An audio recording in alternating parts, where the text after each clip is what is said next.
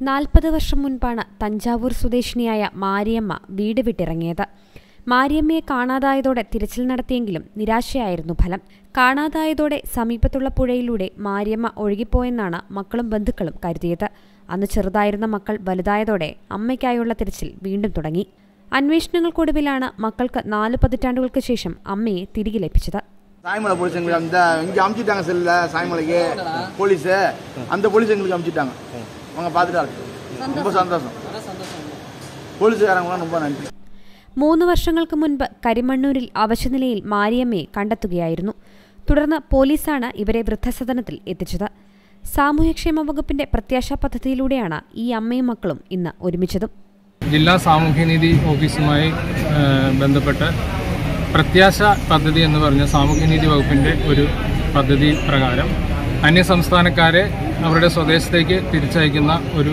പദ്ധതിയാണ്.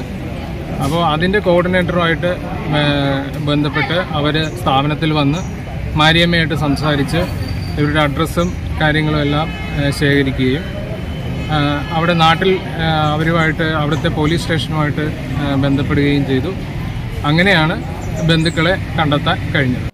ഇപ്പോൾ എൺപത് വയസ്സുള്ള മാരിയമ്മയുടെ ഭർത്താവ് മുപ്പത്തിയഞ്ച് വർഷങ്ങൾക്ക് മുൻപ് മരണപ്പെട്ടു. അഞ്ചു മക്കളായിരുന്നു ഇവർക്കുണ്ടായിരുന്നത്. അതിൽ രണ്ടുപേരും ഇന്നില്ല. ഇതൊന്നും അറിയാതെയായിരുന്നു ഇവരുടെ ജീവിതം.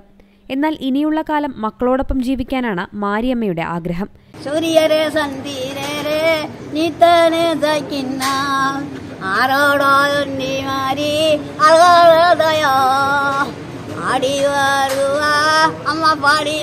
ആരോടോ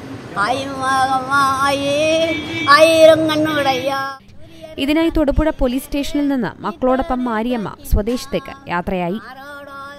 Zee Malayalam news Idukki.